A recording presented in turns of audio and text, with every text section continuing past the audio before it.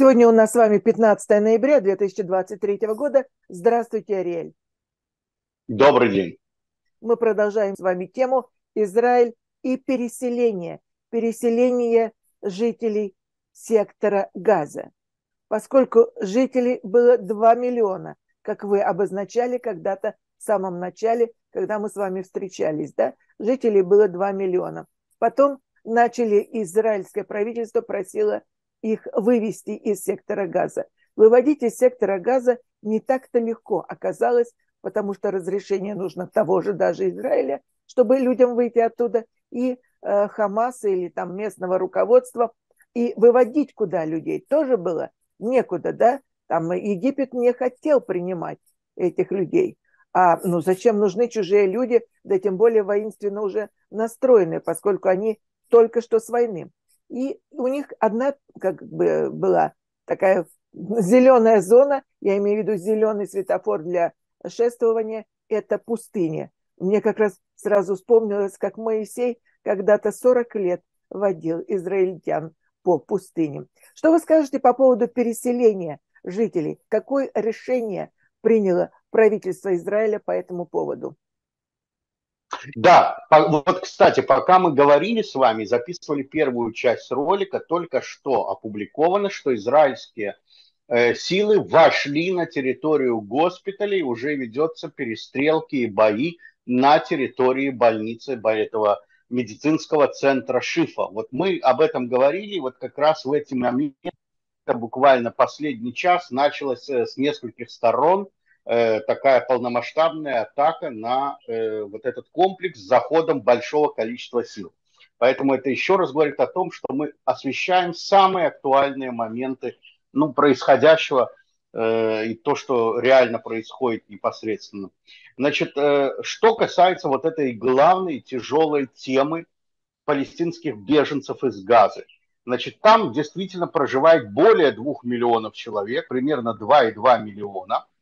Э, из них выехало на сегодняшний момент с территории Газы менее 200 тысяч в Египет, да, только в Египет у них есть выход. И, э, соответственно, внутренние переселенцы, внутренние беженцы с северной и центральной части Газы на юг э, составляют уже полтора миллиона человек. Ну и, естественно, разрушены, как мы уже говорили ранее, две трети жилищного фонда Газы. Э, практически все уже э, гражданские инфраструктуры. То есть даже возвращ... если завтра прекратится война и боевые действия интенсивные, возвращаться по сути же некуда. И тут израильское правительство вчера буквально опубликовало официальный план по переселению, значит, он называется на иврите, очень странное слово выбрали. Он называется почему-то трансфер. Трансфер. Значит, э, откуда я скажу? Это очень интересный момент. Идея трансфера арабского населения существует, ее объявил в свое время такой кремлевский политик израильский, а Виктор Либерман предлагал все трансферить, трансферить палестинцев. Э, но на самом деле э, план трансфера был впервые реализован нацистской Германии, это официально, в 30, по-моему, восьмом году в отношении евреев, которым было разрешено переехать на Палестину, в Палестину, на палестинские земли. То есть это на самом деле план ну, э, э, нацистского режима. Да? То есть план трансфера, он известен на иврите под словом «гавара», и он был официально, то есть эти все данные есть в Википедии, можно прочитать. Он был официально подписан между фашистской Германией и еврейским агентством Сахнут по переезду евреев и частично их собственности значит, из Германии в Палестину. И вот это очень интересный момент. Взяли этот план и фактически его актуализировали для палестинцев из Газа. Значит, что он из себя представляет? Во-первых, кем он написан? Написан он э, двумя, э, что это тоже очень интересно само по себе. Он написан двумя парламентариями, членами самой ключевой, одной из двух самых ключевых комиссий парламента, это по международным отношениям и безопасности, то есть это профильная комиссия парламента.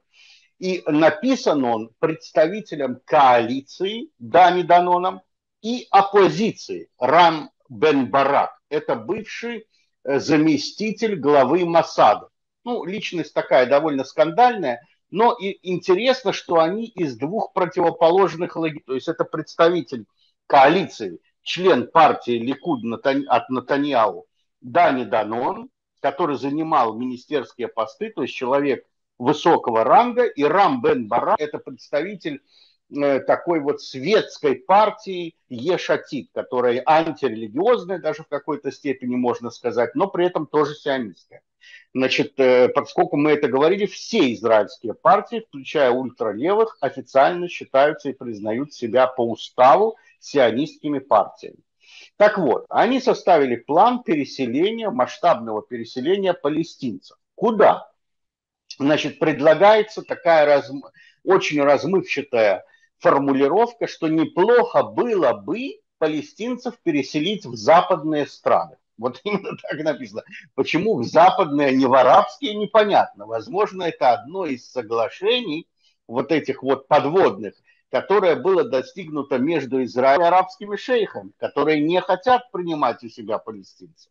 Именно поэтому Данон и Бен Барак предлагают значит, палестинцев переселить именно в Европу. Э, кстати, в этом может быть очень хитрый ход на самом деле. Вот в ключе сионистского мышления, чтобы палестинцы злые, вот эти обездоленные, которые из Газа переедут в те же самые Франции, Бельгии, Германии, они потом евреев начнут там, естественно, шебуршить, и евреи начнут бежать в Израиль. То есть это такой план двойного действия, тандемный, как всегда. Но я бы хотел дать свое предложение. Если уже речь зашла о, перенос... о переселении палестинцев и куда их переселять, у меня есть чисто практически в этом плане подход рациональный и обоснованный экономически. И заключается он в очень простой вещи. Израиль, маленький наш Израиль, за последние два года принял из России 64 тысячи беженцев. Я просмотрел сейчас статистику. Вот с начала войны в Украине в Израиль из России переехало 64 тысячи беженцев, которые убежали от путинского режима. Неважно по каким причинам, но факт остается фактом. 64 тысячи э, россиян переехали в Израиль. Почему бы России не принять по бартеру вот этих жителей Газа один к одному? Мы приняли 64 тысячи россиян, маленький Израиль. Пусть Россия примет 64 тысячи палестинцев. Это же абсолютно логично. Вот. А если... Почему не?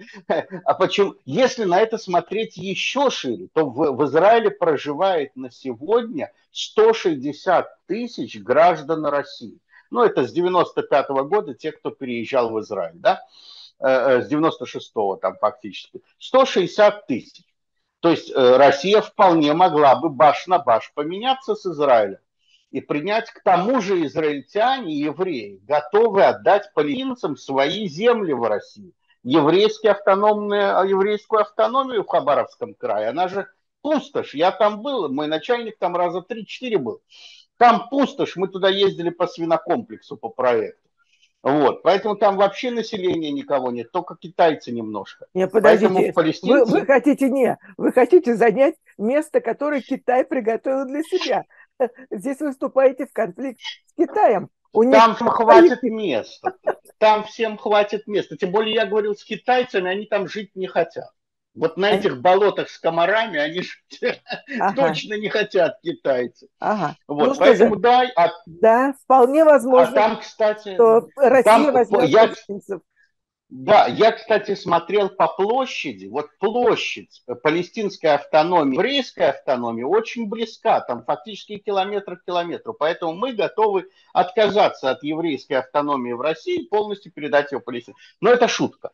Но на самом деле на самом деле вот Галкин с Пугачевой уехали в Израиль, Израиль их принял. Дом, у них там э, особняк гигантский остался. Почему бы не поселить туда 10 э, семей сектора газа? Пусть вот по обмену, культурному обмену э, Галкин с Пугачевой в Израиль, а полиции из газа пусть едут не, не, в деревню. Ну что вы, там у нас свои швондеры и Шариковы, которые тут же захотят взять. Они уже раскрыли да. глаза на этот особняк. Конечно, конечно. Так что палестинцев, вероятно, только куда-то в болото. Но ваша мысль имеет под собой почву. Может быть, мы так и шуткой это все говорим, но это Да, мы, конечно, это, это подаем как юмор, но на самом деле Россия, которая позиционирует себя в дружеских отношениях с Хамасом, да, да Хамас да, за последние да, три да. месяца дважды был в земле. Так помогите палестинцам, реально помогите, вышлите борты и пригласите к себе там 20, 30, 40 тысяч. Что такое Россия, которая ежегодно теряет население по 100 с чем-то тысяч? Э, что такое для них принять 60 тысяч этих обездоленных палестинцев? Почему и бы возьмут, нет? Есть... И ведь возьмут. Ведь Я думаю, что возьмут, да. Возьмут. И будет опять конфликт местных евреев и э, палестинских. Это, это не так. Я, кстати, не думаю, что будет какой-то конфликт, а, потому абсолютно. что если взять эти 60 тысяч палестинцев и размазать по территории России, это что там приедет? По 10 семей в каждый город, какие там конфликты могут быть? Это, это первое. Второе, ну, конечно же, э, очень подлинно себя ведет Египет. Сиси себя показал, тоже мне большой друг палестинского народа. Палестинцы граничат, Газа граничит с Египтом, точно так же граничит, как она с Израилем. И ты их брат-мусульманин, и брат как бы потому что де-факто 30% э, жителей Газа, они имеют право на получение египетского гражданства, потому что у них родственники в Египте. Так почему же Египет отказывается принять? Тем более ему готовы все это оплатить. То есть он не возьмет на себя ни копейки расходов. И Израиль и Америка предложили Египту списать 8 миллиардов долларов на то, чтобы он принял там сколько-то тысяч этих палестинцев, треть из которых, я подчеркиваю, имеют родственников в Египте. То есть это типичное воссоединение семей. Им там построят кибуцы, им там построят фермы, то есть и жилье, и работой они будут обеспечены, эти палестинцы, которые переедут с газа. Поэтому нет никакого смысла действительно восстанавливать газу. Никто этого делать не будет, Израиль этого не, по, не допустит, э, э, потому что, ну, фактически это зам пригласит туда Хамас власти. Вот. Поэтому в Газе, я думаю, останется где-то примерно процентов 30 от нынешнего населения, ну так, примерно. Остальные будут вынуждены все-таки куда-то переехать. И э, э с точки зрения экономической, они точно улучшат свои условия бытовые, чем те условия, в которых они находились в Газе. То есть во всех отношениях с рациональной точки зрения решение о, переносе, о переселении значит, жителей Газа, она правильная. Но это нужно, конечно, будет согласовывать. Вопрос, как это будет согласовываться, кем это, с кем это будет согласовываться – я не знаю, это трудно сказать, это будет большая дипломатическая раз, работа, и самое главное, это будет большой...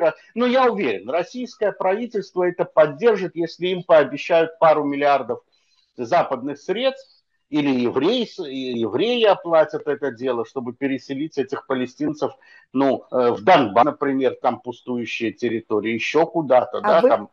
А есть... вы говорите, Ариэль, что почему дали такое слово трансфер, да? Да это как для товара. Товар купил, продал, купил, продал, да, отправил, да, да, отправил за деньги в Россию. Это тоже товар. То есть люди стали да. товаром, люди перестали быть, как бы как мы раньше еще лет 50 назад воспринимали, как нечто такое божественное обычный товар. Вот видите, вы же сами сказали, заплатят евреи. Кстати, Красиво. это очень интересный момент. Это очень интересный момент, что план назвали трансфером. Потому что трансфер – это бартер. Что такое трансфер? Это бартер, обмен. Э, и к людям применять это слово, ну вот только фашистская Германия могла его применить. Да, то есть э, других прецедентов таких нет. Вот. Э, говорят в отношении территории, обмен территориями, но территория это тоже не, не люди, это все-таки обезжизненное, да, это просто метры земли. Поэтому, конечно, это все очень интересно. Это говорит еще раз о том, что и это связывает нас к другому моменту, что все началось в определенную дату, 7 да, октября. Да. Это, вы знаете, что это за день вообще? Это праздник Скажите, Симхат. Да. Интересно, кстати, Я... рассказать вам, потому что вы как бы специалист в этом профи, да? Расскажите, что за праздник? Это да, праздник, это, праздник значит, Торы, да? Да, это праздник. Значит, есть два праздника. Один из них это Шавуот, это день дарования Тары. По-русски он называется Пятидесятница. Это 50-й день после окончания Песаха.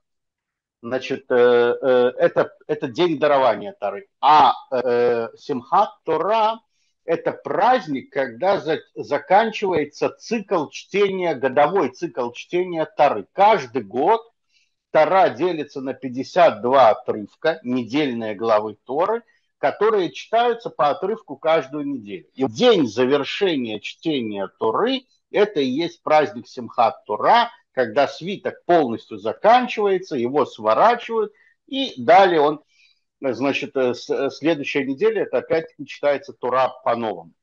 Э, значит, что в этом, какой в этом очень важный символизм? В этом есть очень важный символизм, значит, кроме самого вот этого бесконечного учения Тора, почему именно Тора выглядит как свиток. Вот Коран, мы знаем, он как Коран но и вы сохранили вот эти большие крупные свитки Торы, потому что это олицетворение мира, потому что это спираль, свиток это спираль, это кольцо, это то же самое, как планета вокруг Солнца, Земля вращается, и каждый год это новый круг, один и тот же круг, да, мы вращаемся. То же самое свиток Торы, это как бы вот олицетворяет вот этот вот бесконечный цикл э, космический. И э, почему это именно произошло в Торе э, в этот день? Потому что это говорит о том, что мы подходим к концу современной эпохи цивилизации, современной цивилизации. Потому что по еврейскому летоисчислению сейчас 5880, по-моему, третий год, не помню точно дату еврейского календаря, смотреть вот прямо сейчас, э, э, тарих, да, тарих иври у нас. Я уже запамятовал, какой у нас раньше я это знал. Сейчас я этого не помню. Сейчас я гляну. Да, это надо только месяц и день, это не то, а где у нас, какой у нас... Э... Так, это э, Pay Dalit, это 700 Пэй это 84 год. Да, я сказал 83, наступил 84. То есть сейчас по еврейскому летоисчислению 5784 год от сотворения мира. Э, ну, тут э, философский вопрос, что означает мир и так далее, но тем не менее это время, которое отпущено нашей современной цивилизации. Вот это будет самое точное. То есть фактически мы зашли в последнюю уже седьмину последние вот эти вот 100 с небольшим, 100, 216 лет нам осталось. 216 лет делится как раз 210 на 7. Мы входим в последнюю вот эту так называемую седьмину прихода Машеха и тысячелетнего царства, ну, в христианстве называется тысячелетие, в иудаизме называется тысячелетнее царство Машеха или седьмой, э, седьмое тысячелетие – это шаббат, да, святое тысячелетие. Значит, э, э, и вот этот праздник Симхат Туры и вот такое ритуальное происшествие, которое произошло на наших глазах, которое повлияет на судьбу не только всего Ближнего Востока, но и всего мира, оно происходит в этот день, чтобы показать, что сейчас начинается отчет уже конца цивилизации и отчет э, духовного мира, да, то есть переход, мы выходим из вот этой старой истории, реальной, и переходим в некую новую эру, и, э, во-первых, мы знаем, что сейчас идет переход из э, э, э эры рыб по зодиакальному э, циклу, да, в эру водолей. То есть это смена действительно эпох, это большая вот эта смена, переходной период, который будет длиться несколько десятилетий. И фактически это вот знаете на что похоже? У евреев весь день меняется не в полночь. У всех народов мы привыкли в 12 часов ночи, сегодня пятница, завтра суббота, 12 часов это водораздел. У евреев это не так. У евреев происходит фактически, есть такое понятие димдумим, да, то есть сумерки. Они с захода солнца и до выхода первых трех звезд. И это, как правило, получается там 8 часов вечера, 9 часов вечера, когда уже четко видны первые три звезды. Так вот, мы сейчас находимся между этапом зажигания субботних свеч, это момент немножко до захода солнца, и появлением трех звезд на небосводе, когда мы их уже можем видеть невооруженным глазом. Вот этот, вот этот узкий такой час, да, это в сутках обычно такое час-полтора такой водораздел. Это и есть последние 200 лет по космическому календарю между старой эпохой и новой эпохой. Поэтому вот э, сионисты нам дают, значит, прямые указания, что нечто, нечто сейчас начинает происходить, что подведет финал, подведет черту значит, над старой цивилизацией, к которой мы все привыкли. В этом и заключается вот этот глубокий духовный смысл. То есть получается, что у вас переход – это сумерки. По, э, так скажем, понятиям человека – это сумерки. Сумерки, когда да. начинают оживать духи. Ну да, потому что, и, э, потому что э, как бы солнечный свет, он на самом деле, это же солнце, оно ближе по степени энергетики находится к Творцу. Да, это чистый свет. Солнечный свет – чистый свет. Поэтому в храмах используется золото, потому что золото – это благородный металл, чистый металл, который там не растворяется да, всякими кислотами. Кислоты – это всегда зло. И вот золото – это как э, платиновая группа, они не растворяются, поэтому их можно использовать в храмах. У всего этого есть глубокий смысл. Я вот эти все моменты изучал тогда в Ешиве в свое время. Я же 6 лет до армии учился в Ешиве. У этого всего есть и получается э, в самом деле связь с духовным миром во всех его спектрах, да, потому что мы знаем, есть инфернальный духовный мир, то есть демонический, есть божественный духовный мир, и есть еще там э, различные э, иерархии тоже, которые находятся между демонической и божественной. С ними связь, естественно, лучше ночью. Почему? Потому что дневной свет, свет сон, он э, становится стеной между духовным миром и э, материальным миром.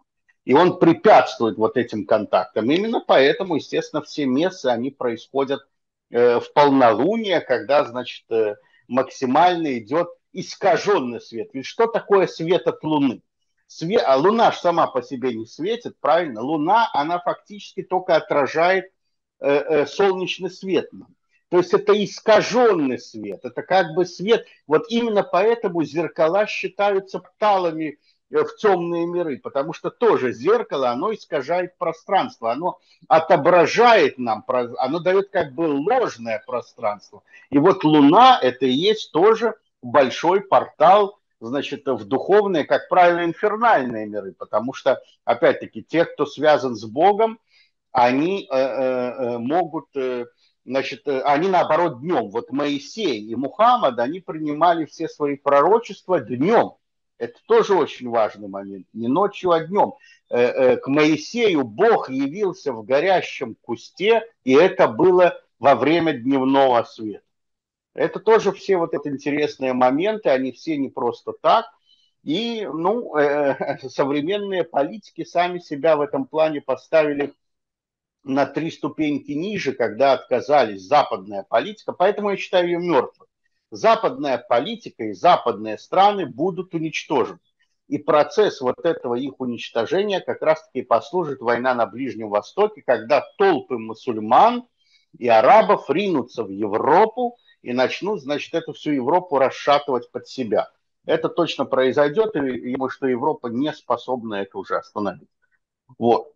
Ну, Поэтому у всего этого есть закономерность.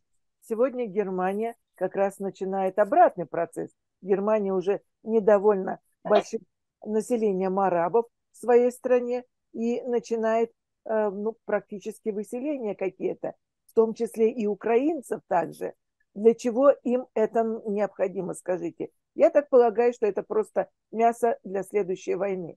То есть вот украинцев выселяют из Германии, гонят сейчас. Швейцария тоже не согласна с тем, чтобы у них жили украинцы. Таким образом, у нас с вами получается, что э, как бы люди, вот те переселенцы, которые переселялись в течение последних 20 лет, они нежеланны, Э, в тех странах западных. То есть то, что вы сказали, что западные страны будут уничтожены только потому, что там, скажем, вот такой хаос, много разношерстных беженцев, и таким образом Европа будет уничтожаться. Для чего Европа будет уничтожаться? И куда будут переселяться все остальные люди? Для кого готовят мир? Каким он будет мир? Пустым или еще каким-то он будет? Для чего это делается? Или Европу вообще хотят почистить, чтобы ее не было, а заселить кого-то, людей с Луны или с Солнца, да, всяких инопланетян заселят на территории Европы. Израиль же не хочет занимать место Европы, ему это не нужно. На этом он и играет. Да? Есть Европа, есть Россия, есть Украина, и на этом фоне это все происходит большая такая игра, где все-таки куются деньги на самом деле. Потому что жизнь человека ничто. Человек сегодня товар, который продается с одной войны на другую. И таким образом э, у нас, да, жизнь – это товар, трансферы и все остальное прочее. Я так полагаю, что депортации еще грядут.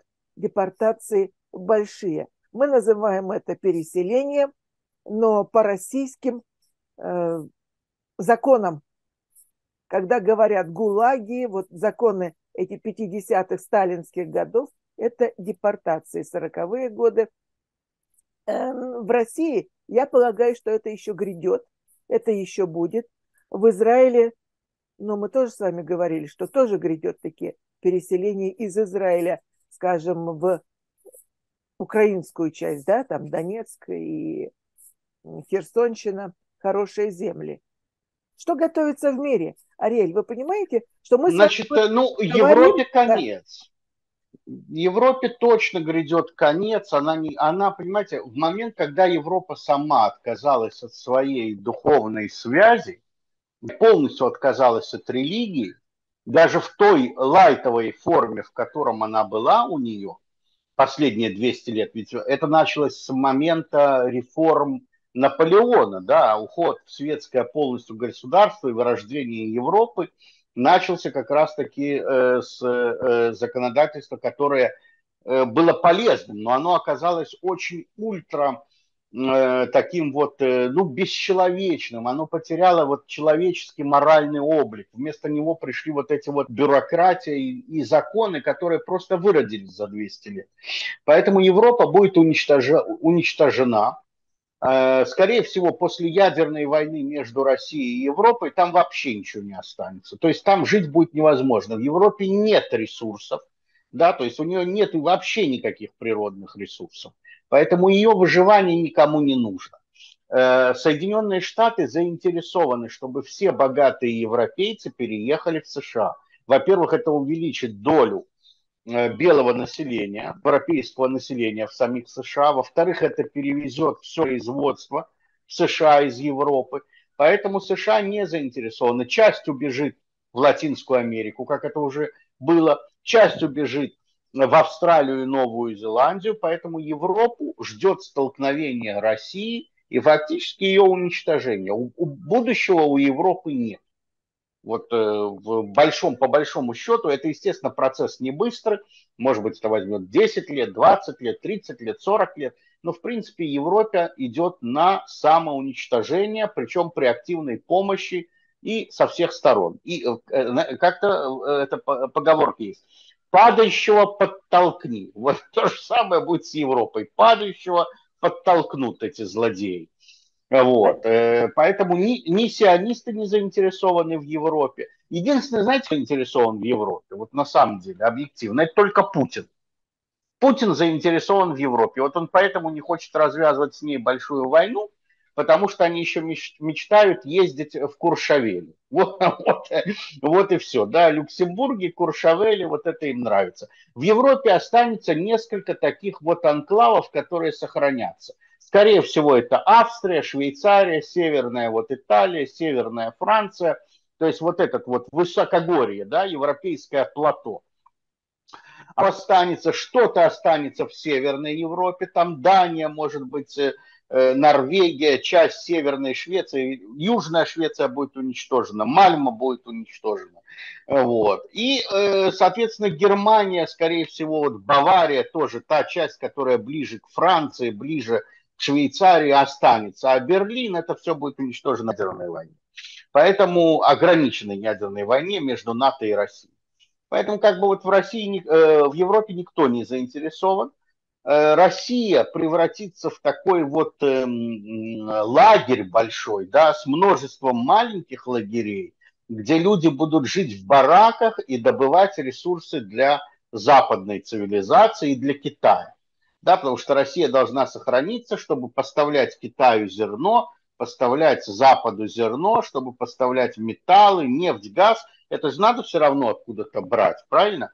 Поэтому Россия, вот она, но она превратится, города опустеют, потому что там будет радиация, и люди будут жить, значит, на выселках, в полях, питаться гнилой мороженой картошкой, и э, богатые, опять-таки, чиновники, они будут сидеть в бункерах э, Росрезерва, куда они сейчас еду загоняют. Вот Россия сейчас завозит во все свои бункеры эшелоны, эшелоны продовольствия и других материалов, необходимых для длительного проживания. Это все видят. Есть э, кадры, значит, как Россия готовит бункеры на случай ядерной войны. Вот. Поэтому я думаю, что вот такая ситуация грядет. В Европе ничего хорошего не будет. Поэтому, есть, кроме определенных частей, да. Получается, в результате, что у нас получается? Европа уничтожает, то есть мы говорим сейчас о людях, даже не о земле. Европа уничтожена, людей там нет, да? Анклавы не считаются, они будут э, как бы... Загород... Маленькие, обособленные, да, нищие, да. да. Да, что у нас? Россия у нас превращается в раба, раба Китая, который будет работать на Китай. И, в принципе, да, это будет полное подчинение Китаю. Да, что у нас? Израиль таким образом захватывает весь Восток, который находится... Израиль, ну не весь, Израиль станет увеличить свою площадь примерно в два с половиной раза, потому что надо будет... Э, понимаете, в чем ошибка сионистов? Ну. Что они все равно пытаются Израиль объявить обычным еврейским государством. Это неправильно. Надо было сразу говорить, что Израиль – это царство Израиля, не государство Израиля, а царство Израиля. Потому что тогда для мусульман правоверных было бы понятно, кто мы такие, почему мы здесь. Потому что у них в Коране написано, что это сыны Якова, они приедут, восстановят свое царство. Поэтому надо так. вещи называть своими именами. Я, я полагаю, что именно так и будет. И в результате мусульманский мир окажется под израильским царством, и будет совместный сплав религий, потому что арабы не перейдут ни в коем случае сразу какие-то иудейские да, законы. Нет, нет, а это и не нужно, это абсолютно поэтому, не нужно, потому что поэтому, мы... да, да, будет верхняя прослойка, это будет э, еврейская прослойка, которая будет руководить халифатом, насколько я понимаю. Ну, это будет триумвират, это будет все-таки такой вот э, триумвиратик, который они организуют. Э, евре... значит, будет общий совет религий и мировое правительство, которое станет исполнительным, исполкомом, да, исполнительным комитетом э, Духовного совета. Будет во главе Духовный совет, который номинально будет состоять из трех религий, ну, из э, христианства, иудаизма и мусульманства. У мусульман будет большинство голосов, но не больше половины по количеству. На втором месте будут христиане, на третьем месте будут иудаизм, потому что это самое маленькое по количеству людей. Но при этом основные решения по вопросам безопасности и финансов будут принимать, естественно, э, э, коэны, да, каганы, коэны, то есть это, это уже, это тоже уже согласовано с этими же самыми шейхами. Я вам даже открою такой секрет, у нас меньше минуты, но тем не менее, вот э, шейхи, они же даже, те, которые накопили на миллиардное состояние, ищут евреев из Лондона, из Швейцарии, которые приедут к ним и будут управлять всем богатством. Они себя не хотят этой текучкой занимать.